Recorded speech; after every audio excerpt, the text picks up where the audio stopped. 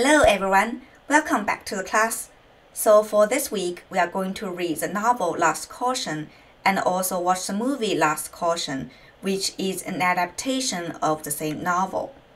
We won't have any synchronization for this week, but we will have a um, synchronized discussion next week, next Thursday, to thoroughly discuss both the novel and the movie. So the title of the book and the movie is Lust Caution and this is a screenshot of the movie. And if you still remember last unit, we read a lot of novels and watch a movie, which is all about sensual love. So basically, how sensory experience is represented in works like uh, novels and movies. And we saw a lot of interactions between the characters, like how they looking at each other, how they touch upon each other or resisted the attempt to touch upon each other, like the oil peddler, uh, his treatment to the Queen of Flower, and also how gossip, so listening, uh, in the mood in the in the uh, in the movie in the mood for love, how the gossip listen or listening to gossip shape the character's idea about love and relationships. So basically, senses and sensory experience is very important in all those works. And now we are moving on to a new unit, which is love and warfare.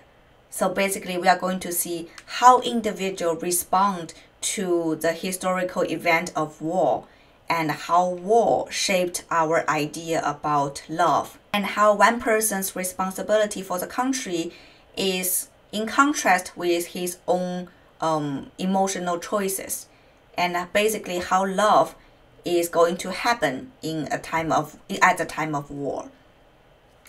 And this specific work, Lust Caution, is a perfect bridge between Unit 1 and Unit 2 because first, this work is written in a huge historical background of the Sino-Japanese War, and we are going to see two characters from the two parties of the war falling in love but we, what kind of love we of uh, we need to have a discussion. But basically, they they are falling in love, and also they have some struggles and leading to a interesting ending. I won't spoil it here, but uh, basically we're going to see how private emotion or private love is shaped by the uh, historical war. And also, this kind of love is depicted very sensually in both the novel and the movie especially in the movie, if you go watch it, you'll see uh, a very explicit display of sex on the screen. So basically correspond to the um, title Lust. And how love, uh, what's the relationship between love and sex and how uh, through sex the characters understand their love better or worse. All these will be interesting questions we need to discuss later. So before we moving on to the specific work, I want to give you a blueprint of what we are going to see in this unit, Love and Warfare. So first we are going to see this uh, novel and movie Lust Caution. And the next next week, we are going to see another short novel, Love in a Fallen City. And both of these um, novels are written by a female writer, Eileen Chang, who lived from 1920 to 1995, so a modern female writer. And both, uh, both works are fictions, even if they may have some historical roots, but they are uh, overall the recreation or the creation of this female writer, Eileen Chang. And um, the historical background of these two novels are the uh, Sino-Japanese War, which happened between um, 1937 to 1945. And the geographical location of the two stories are, again, Hong Kong and uh, Shanghai. If you still remember, in the first movie we saw in the Mood for Love, um, they uh, these two cities, these two metropolitan cities, are also very important geographical location. Uh, the whole story in The Mood for Love is happening in Hong Kong, but the landlord, if you still remember, she is a immigrant from Shanghai. So these two cities are just so important in that time and are represented again and again in love stories uh, when setting a in a time of the 1920s, 30s, 40s. And later we are going to see another kind of work, Reminiscence of the Plum Shadow, is written by a male writer, Mao Xiang.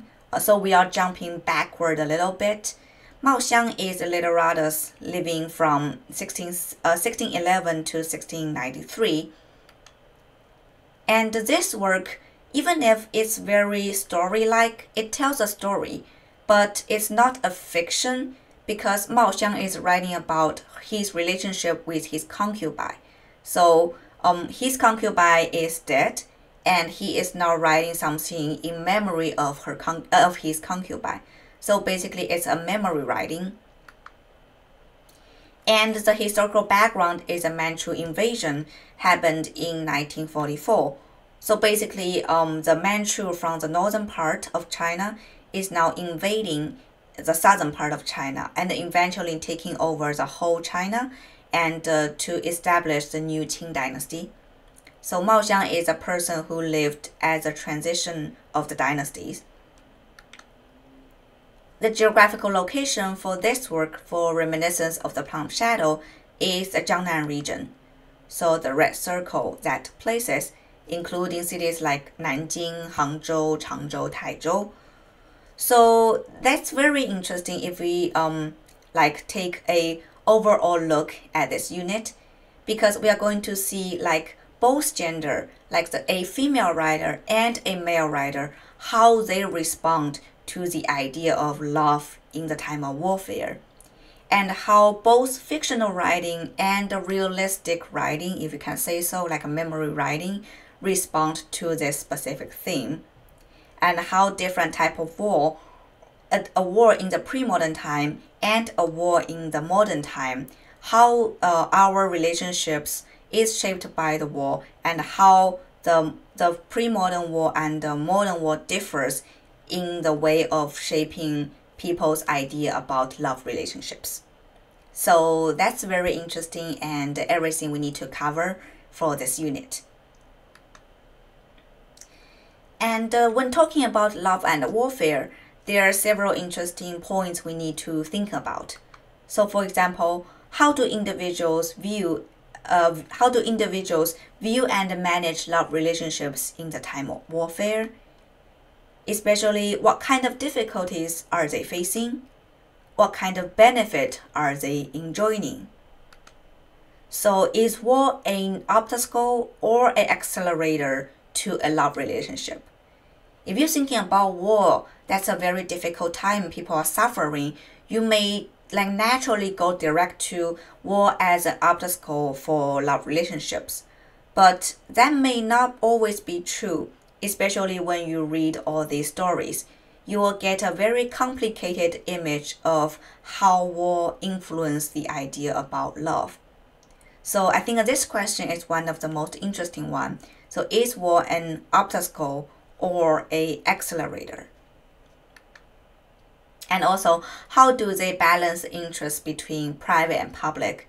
So their um, responsibility for the country or their private kind of emotions to the civics, to their significant others. So how to balance these two interests, these two relationships. And if we um, speak at a conceptual level, we can say, uh, how can individual stories be woven into the ground narrative? If we're always thinking about the love, uh, a love story as a individual story, and the warfare as a ground narrative, how these two come together. And uh, is there one, uh, is there always one uh, dominate the other, or sometimes the relationship can be different? And finally, does gender, like the gender of the authors, gender of the characters, gender of us readers, matter in understanding a, lo- a wartime love relationship, and how? I think that's very interesting because thinking about we're going to read some female writers and male writers um writing and also you'll see a very different kind of way of writing, a very different perspective they portrayed their characters in the stories.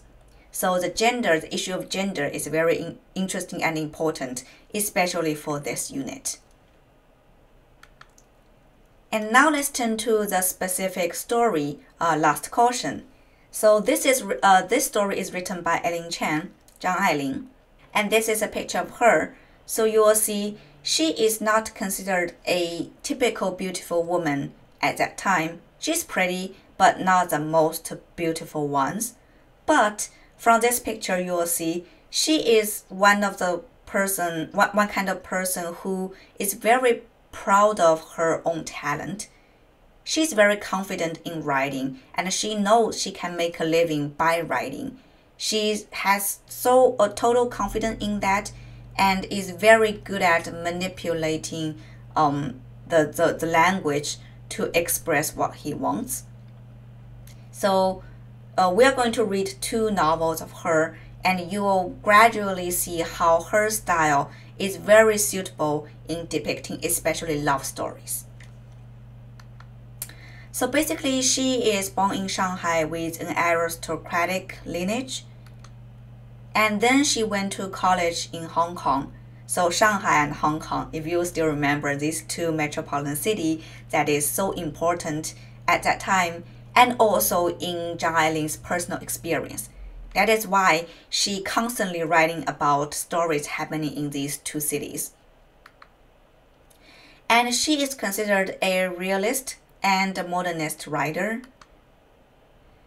And she um, is famous for created an alternative wartime narrative, one that deviated from the ground accounts of national salvation and revolution.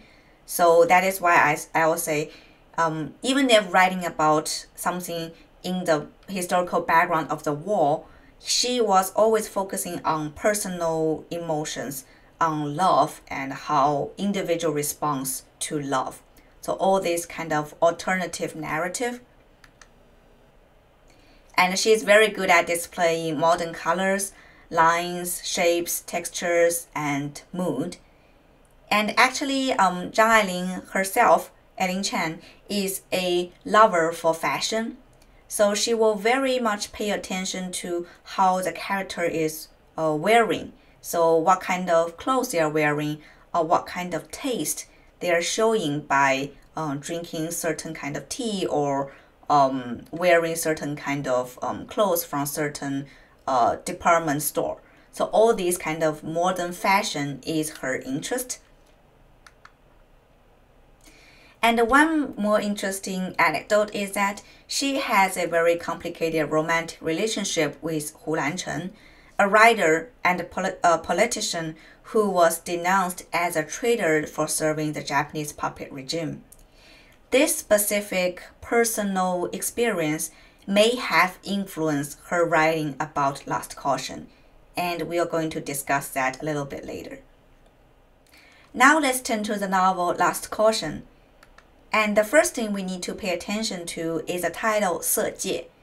So there are two characters, se and jie, and they have actually very different meanings, two layers of different meanings.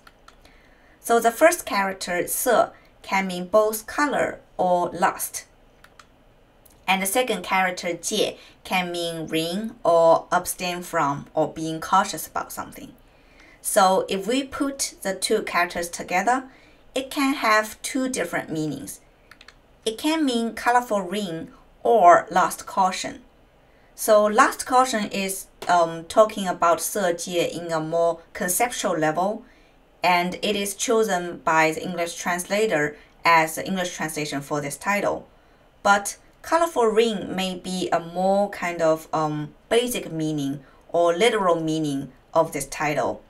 And if you read the story and watch the movie, you'll see that colorful ring is one of the most important trope in the whole story, or the most important material existence of the whole story.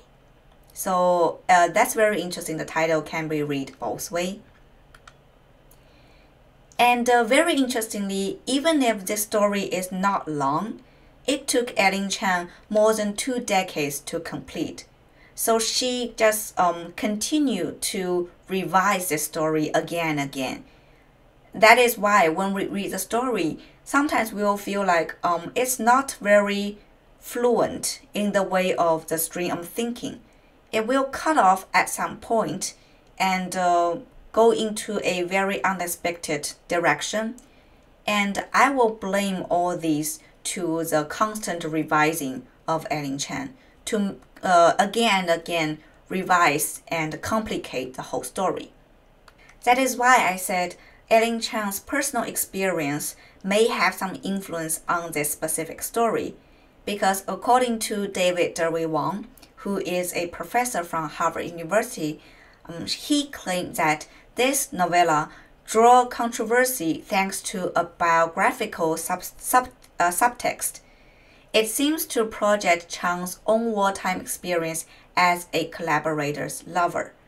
Because Eileen Chang herself has such a romantic relationship with Hu Lancheng, who is a collaborator of the puppet regime, she will have a very complicated um, emotional response to this story in the lust caution, to the relationship between the two characters. So that kind of subtext is very interesting and may help us understand why this story is came out to be like this.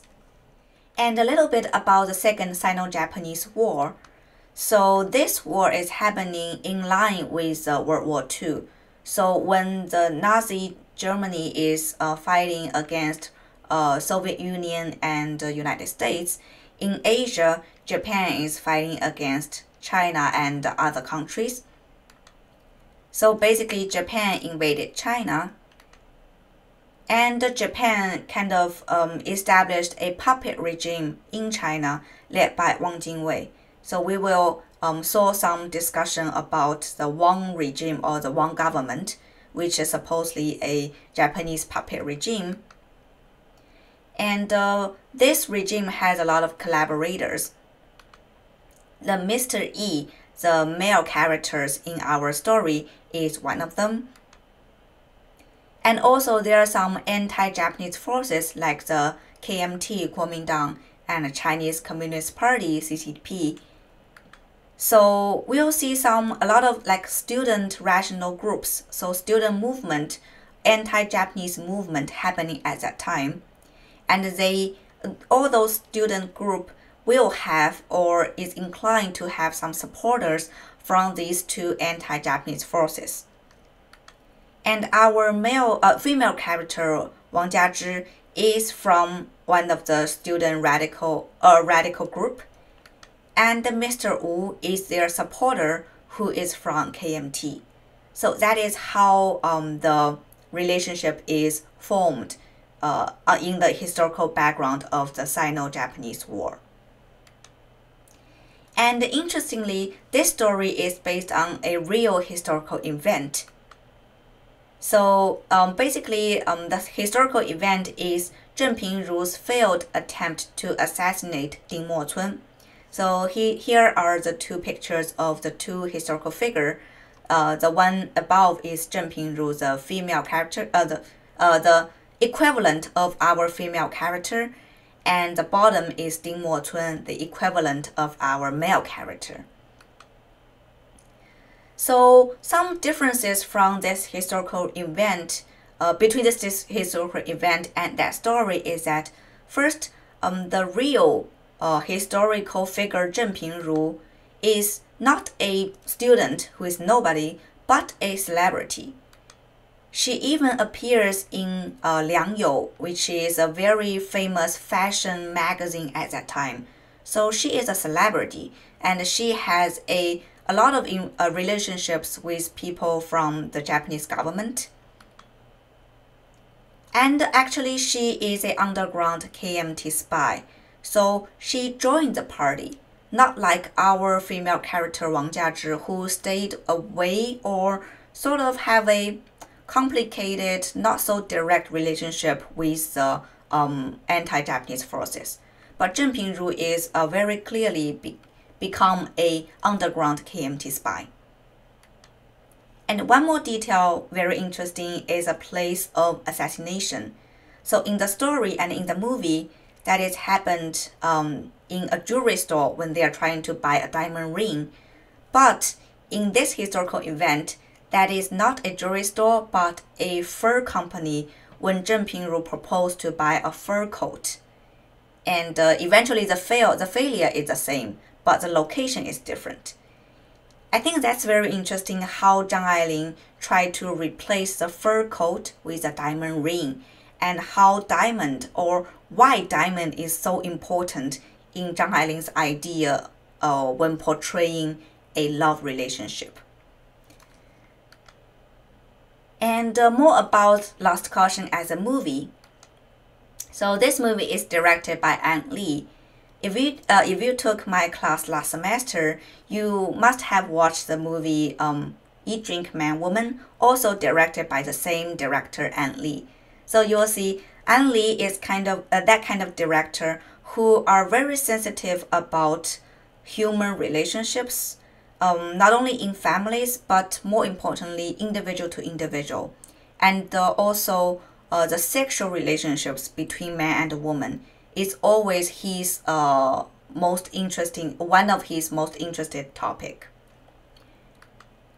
And the cast is um, uh, Tang Wei as Wang Jiazhi or Miss, Mrs. Mai, and Tony Leung as uh, Mr. Yi. So if you still remember, this same Tony Leung it played uh, Chou Mo Wan in um, the first movie we saw in The Mood for Love.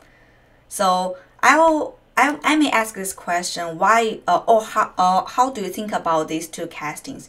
Do they think uh, do you think they are fitting into their own roles, or uh, why this director choose these two actors to be the casting of this specific story. And this movie is actually get very positive feedback internationally. So it won on 2007 Golden Lion International Venice Film Festival Award.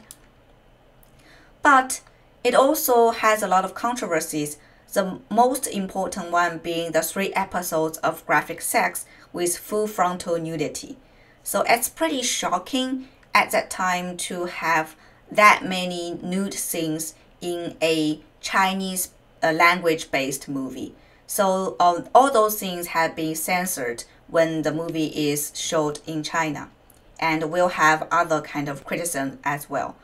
But um, I think that's a very interesting choice for Ang Lee to put all these three episodes of sex scenes into the movie, and uh, it's definitely worth discussing. So I want to pose some questions for you to think about when um, watching this movie and reading the novel. The first one is from whose perspective is the story told, and why is that important? Also, from written to visual languages, what changes and what remains? And uh, basically, um, the following question will be how to understand the added details, like the mirrors repeatedly uh, appears in the movie, and uh, Wang Jiazhi's uh, Changsan, the qipao. So how is that important? And the, especially the three episodes of sex why Ang Lee tried to uh, intended to uh, express through uh, what Ang Lee intended to express through these three episodes of sex, and why he chose to put them into this movie and make it this long, and other details as well. Also, how do you think about the casting? Do you think they fit in the characters? Do you think these two actors are your imagined uh, Wang Jiazhi and uh, Mr. Yi when you're reading the novel? And uh, how do you understand Ang Lee's style, especially in comparison with Wang Kar Wai? Because if you're thinking about um, the focusing on the two metropolitan cities, Shanghai and uh, Hong Kong, Wang Kar Wai actually has a lot of in common with uh, the original author, Eileen Chang they are both focusing on the very detailed love relationships between individuals and uh, very good at to create a mood that in mood of love that kind of um, romantic mood between two characters using written language or using visual language. But if Ang Lee instead Wang Kar Wai is shooting this specific film, what changes and uh, what Ang Lee does better and what do you think if the director is Wang Kar Wai he will do better? That's about it. I really hope you enjoy the novel and the movie. And don't forget to leave comments down below and leave any thoughts of uh, the movie or the novel on the Moodle page, uh, the Moodle discussion I created. Let's have an interesting discussion next Thursday and see you in class. Bye.